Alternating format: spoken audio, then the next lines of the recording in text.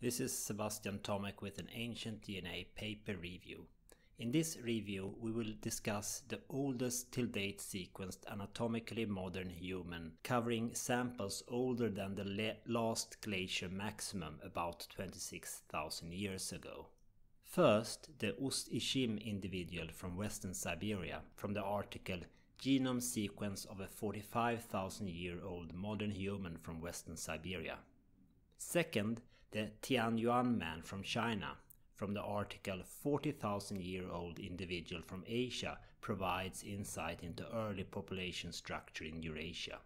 Third, the Oase individual that is up to 40,000 years old from the article An early modern human from Romania with recent Neanderthal ancestor.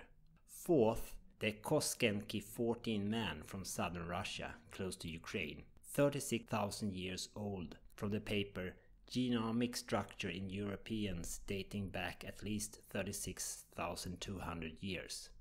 And finally, fifth, the Goyet Q116 man from about 35,000 years ago from the paper The Genetic History of Ice Age Europe. There are two additional very old samples. The Yana individual from 30,000 years ago in the paper The Population History of Northeastern Siberia since the Pleistocene, and the Sunghir individual from 33,000 years ago in the paper Ancient Genomes Show Social and Reproductive Behavior of Early Upper Paleolithic Foragers.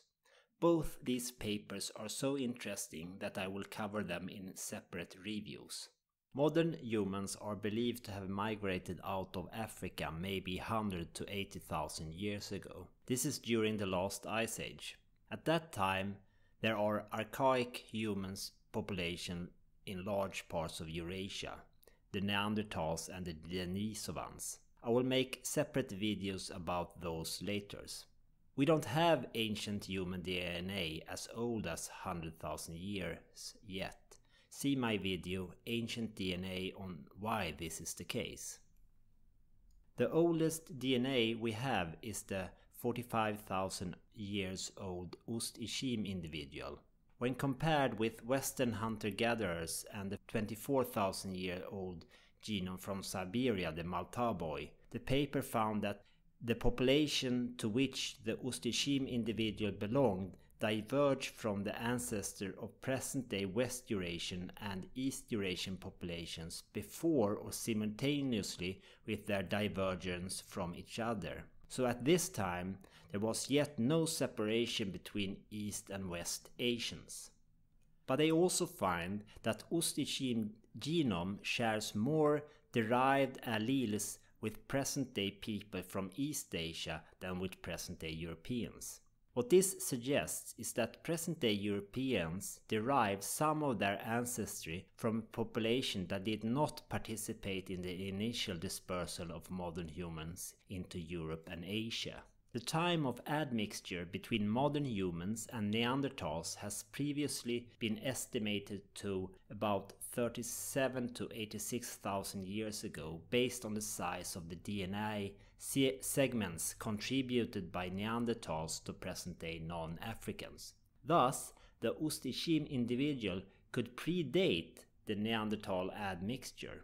From the extent of sharing of derived alleles between Neanderthal and the Ust-Ishim genome, they estimate that the proportion of Neanderthal admixture in the Ust-Ishim individual to be similar to present-day East Asians and present-day Europeans. Thus, the admixture of Neanderthals had already occurred by 45,000 years ago.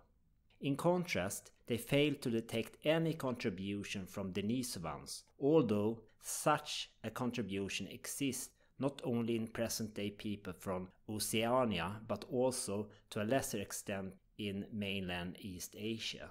A common model for modern human colonization of Asia assumes that an early coastal migration gave rise to the present-day people of Oceania, while at a later more northern migration gave rise to Europeans and mainland Asians. The fact that the 45,000 year old individual from Siberia is not more closely related to the Onge from the Andaman island than he is to present day East Asians shows that at least one other group to which the ancestor of the Ust-Ishim individual belonged colonized Asia before 45,000 years ago. Second, we have the Tianyuan man from China, 40,000 years old. This is the first individual with distinctively more closely related to East Asians than to West Eurasians. This paper concludes that several distinct populations existed in Eurasia.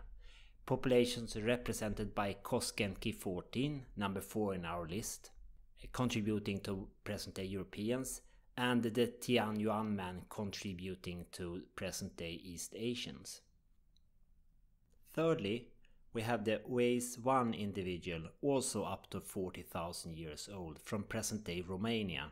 This individual has about six times as much Neanderthal DNA than current Europeans, and is believed to have had a Neanderthal ancestor as recently as four to six generations back.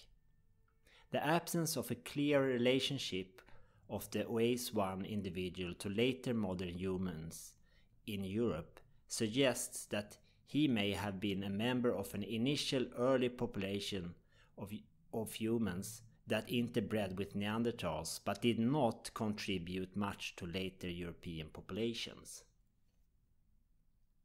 Fourth, we have the 36,000 years old Kostenki 14 individual from southwestern Russia that they found shares a close ancestry with the Malta boy from central Siberia, European Mesolithic hunter-gatherers, some contemporary Western Siberians and many Europeans, but not Eastern Asians. Additionally, the Kostenki 14 genome shows evidence of shared ancestry with a population basal to all West Eurasians that also relates to later European Neolithic farmers.